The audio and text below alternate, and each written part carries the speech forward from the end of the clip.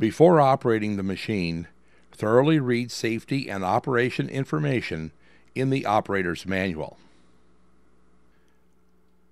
Press the machine configuration button on the home screen to display the Cleaner Setup menu button, which opens a screen with three cleaner setup parameters.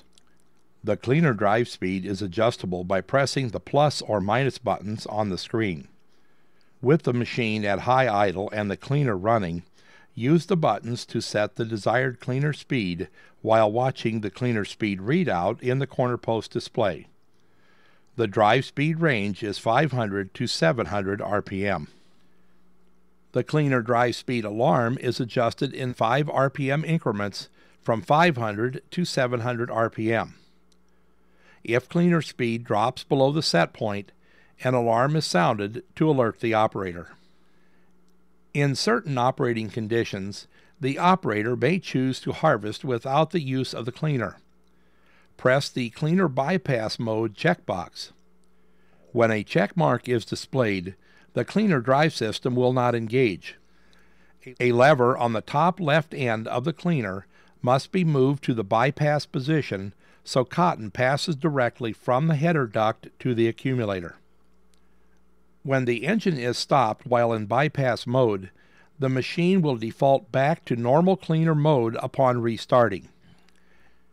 The air system ducts behind the header are adjustable to change the crop flow capacity and green boll separation characteristics of the machine. See the air system section in the operator's manual for step by step procedures to make these adjustments.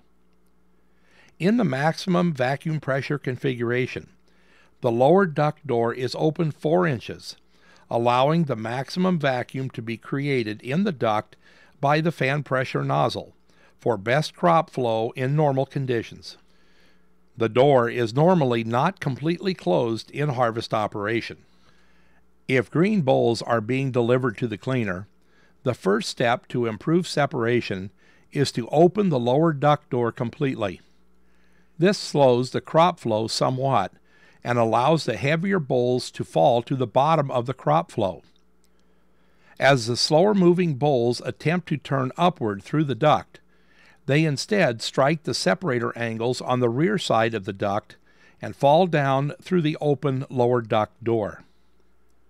If separation is still insufficient and excessive green bolls are entering the cleaner, the louvered duct and upper panel can be adjusted downward, lowering the rear edge of the panel to direct the crop flow downward, striking the separator angles more directly. Heavier green bolls in the crop flow are deflected downward, while the lighter cotton turns and is pulled up the duct by the system air flow.